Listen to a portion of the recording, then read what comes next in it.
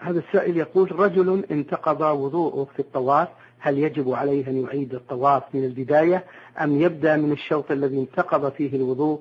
وهل هذا الحكم ينطبق على السعي بين الصفا والمروة؟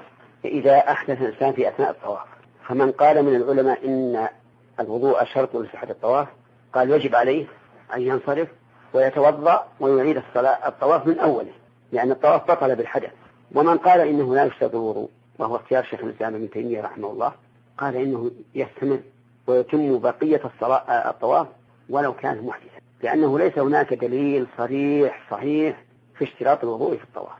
وإذا لم يكن هناك دليل صحيح صريح فلا ينبغي أن نبطل عبادة عبادة شرع فيها الإنسان إلا بدليل شرعي. ثم إننا في, في, في هذا العصور المتأخرة. لو أوجبنا على هذا الذي أحدث أثناء الطواف في أيام المواسم وقلنا اذهب وتوضأ وارجع. ثم ذهب وتوضأ ورجع وبدأ من الأول. وانتقض وضوءه. نقول أي افعل. والمشقة ما يتصورها الإنسان إلا من وقع فيها.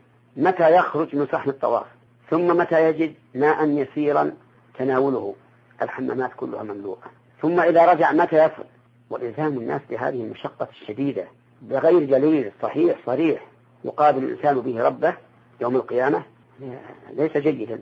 ولهذا نرى أن الإنسان إذا أحدث في طوافه لا سيما في هذه الأماكن في, في هذه الأوقات الضنكة أنه يستمر في طوافه وطوافه صحيح. ولا وليس عند الإنسان دليل يلاقي به ربه أن أن شق على عباده في أمر ليس فيه شيء واضح.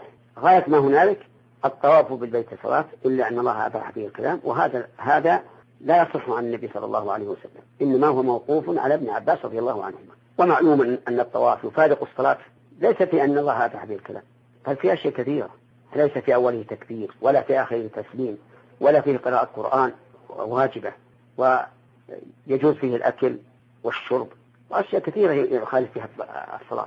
نعم. أحسن الله إليكم شيخ.